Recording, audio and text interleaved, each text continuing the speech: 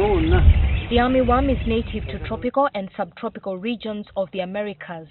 It is suspected that the pest could have been introduced as a result of increased trade in agricultural commodities across continents.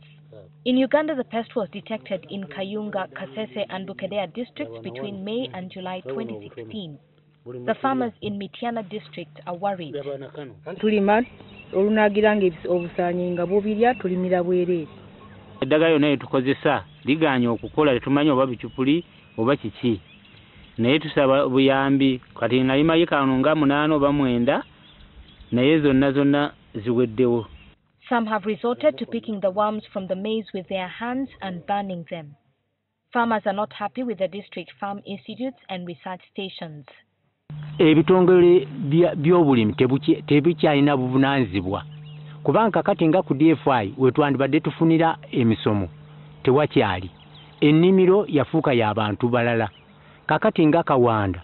Kawanda bw'ogenda okunoonya baku- bakulaga nti tuleze longo 1 longo 2 ebiringa ebyo. Busitama naye takyalina kati kyayamba. Bukalasa naye talina. Their major worry is about the money they have invested.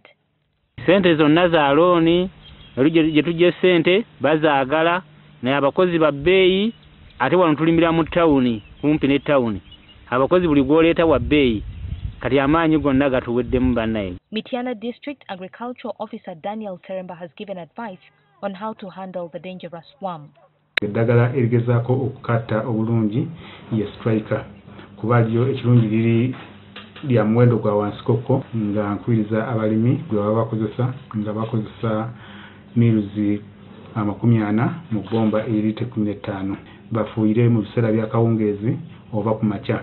Mu ttuntu nako kagezaako okwekweka kaba tekali kukola mulimu gwa kulya nnyo olwo ne wesanga nga bw'oteekako eddagala eryo tekasobola kutuukibwako bulungi eddagala eryo